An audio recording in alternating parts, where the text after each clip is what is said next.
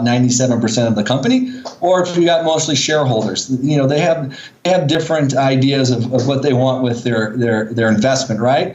So uh, first of all, like I said, I want to be able to touch uh, all all global uh, coffee farmers. That's my number one. But if it, if it unfolds the way I see it unfolding, and we do a Series A and maybe a Series B of fundraising, I mean, you could basically go IPO uh, an IPO on this, right? That would be kind of that would be the normal strategy. Uh, it, it, just depends on what what strings are attached to the, this the first round of money and how far we can get with it. you know, the, the, farther we go down, Series A, B, C, D. Now, now less less control for me and more control for the investors, and typically they want you know the highest return possible. But I hope at the same time we we maintain the technology because it is so powerful. You could actually leverage the farmers even more with this technology, and I, that I want to avoid at all costs. Yeah, yeah, I understand that. Well, this is your baby as well. So I want to know. I want to know, and I, you won't be able to answer this as I wind down this this conversation with you.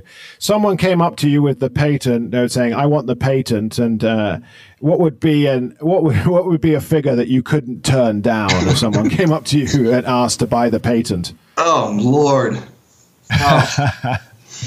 right now, uh, a hundred million. Nice, nice. Now, how can I buy one share? because you can use this patent. It's patent pending, so we haven't got it yet. But it does yeah. protect the the call it the data storage and display on web and mobile applications for transparency and traceability. In a nutshell, uh, if that very is received here, that would be extremely uh, defensive and it would be very protective of the technology. Obviously, then, then the then the, the price value skyrockets.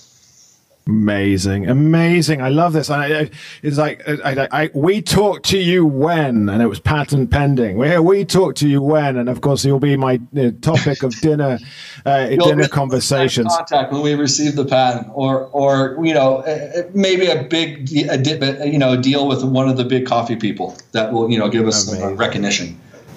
Excellent. Well, listen,